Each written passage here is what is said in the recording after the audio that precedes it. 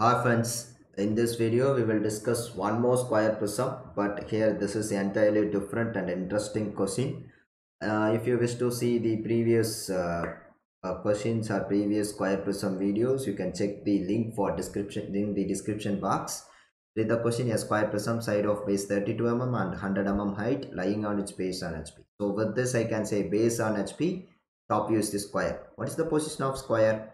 Such that the edges of the base are equally inclined to VP. So I have to make sure that two sides of the square has to be equally inclined to XY. So both the sides, two sides has to be marked 45 degree with respect to XY or with respect to VP. The prism is cut by a section plane passing through the midpoint of the axis. They said section plane is passing through the midpoint of axis such that the true shape of section is a rhombus of diagonals of 102 mm and 45 mm. Determine the inclination of the section plane with VP. See, we discussed five problems in the previous cases. Every problem they said what is the section plane inclination. Here they never mentioned anything related to uh, section plane inclination. They instead of that they given us what is the true shape? True shape is the rhombus of diagonal 102 and 45 mm respectively. So based on this concept, we have to proceed our problem. So first draw the xy. In the xy which is uh, uh, top view is the square. Top view has to be drawn by means of 45 degree inclination. Both the sides, this both sides has to be drawn for 45 degree inclination. Both the sides of square has to drawn with respect to 45 degree to xy then the side it is 32 mm. So top square it is a uh, abcd pqrs is the bottom square. Or base of the square prism. Extend the projectors complete the top view.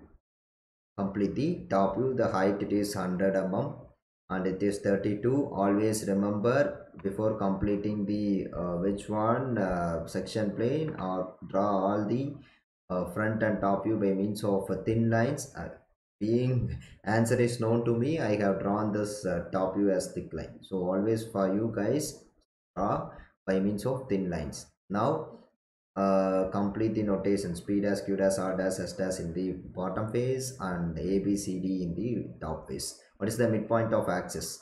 100 so midpoint is 50 now I have to cut this uh, front view such a way that I can obtain rhombus. So rhombus of diagonal 1 or 2 mm. If I cut this uh, square like this towards the midpoint of this, I can obtain the rhombus. Okay. So what for for that what we can do is take this midpoint as m dash.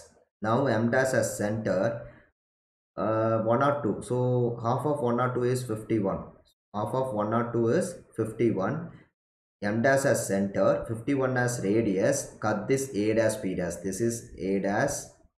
This is b dash h longer edge you can cut this a dash b dash longer edge by means of using m dash as center this a dash b dash m dash as center 51 as radius to cut this longer edge a dash b dash and another longer edge is c dash r. Dash again the m, dash, m dash as center same 51 as radius cut this c dash r. Dash draw an arc to cut this both this and finally complete the section plane.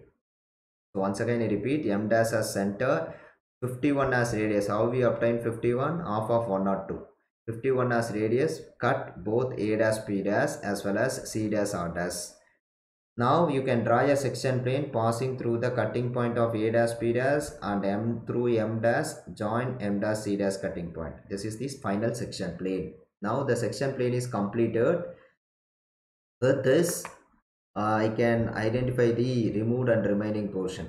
So the bottom of is the remaining portion. I can convert the remaining portion into thick lines and similarly if you extend the uh, cutting points this is one dash first section plane cut point. This is the next section plane cut point at m dash. This is next section plane cut point. So 2 dash. Before that uh, being this is 1 dash. Here it is 1 similarly. Next check this is 2 dash.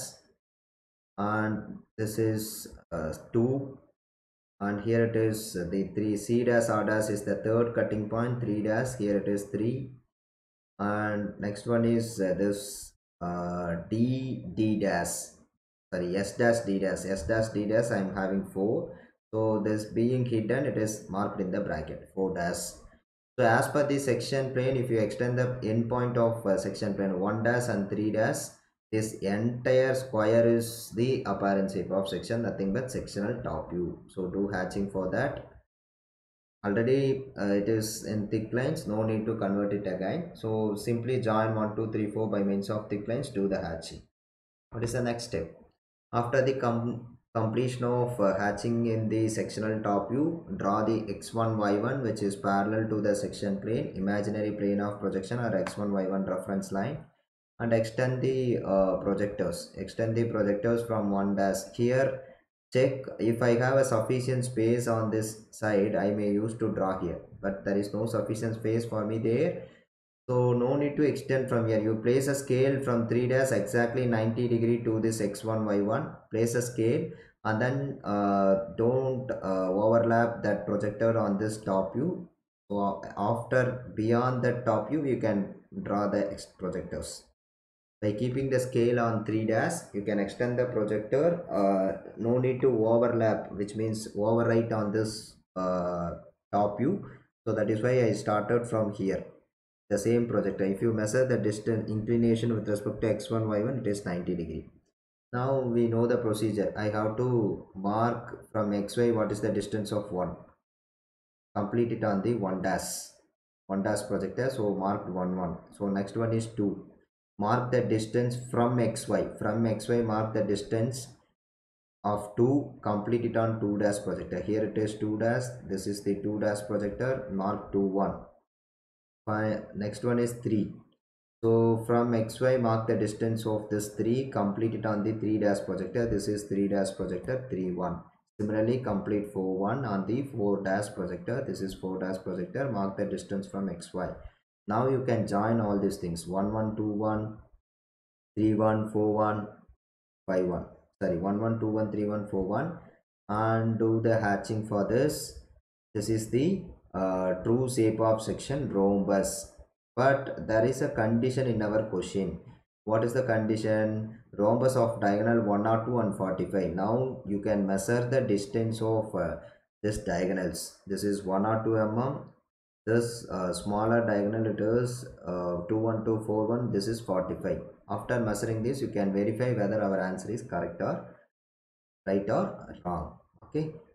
Now this is the true shape of section. This is sectional top view. Sectional top view and true shape of section. Before that one more is read the question. Determine the inclination of the section plane with vp so we know that uh, section plane is completed. You can draw a simple uh, projector line thin line and use the protractor place the protractor exactly on this 3 dash point. Mark the inclination of section plane. Identify. This is theta is equal to 64 degree. So we can say easily what is the inclination with respect to HP the section plane is 64 degree. Inclination of section plane with theta. Whenever the question is start always don't forget to write down your answers at the end. Okay? So this is entirely different problem. They have given us what is the true shape exactly. Okay? Given us the true shape exactly. Based on the true shape of section we completed the section plane. After completing the section plane you can identify the inclination. Make sure that major diagonal has 1 or 2 mm of major diagonal of rhombus and 45 mm as minor diagonal of rhombus. If, if we obtain this, our answer is correct. There are a lot of problems like uh, in cube we can obtain hexagon without any section plane conditions and in pentagonal pyramid we can obtain isosceles triangle. In case of cone we can obtain both uh, parabola and uh, isosceles triangle. So these are all the interesting problems uh, without any inclination of section plane. The final true shape will be given you wish to see see those uh, uh, videos like uh, cube hexagon uh, cone parabola and which one?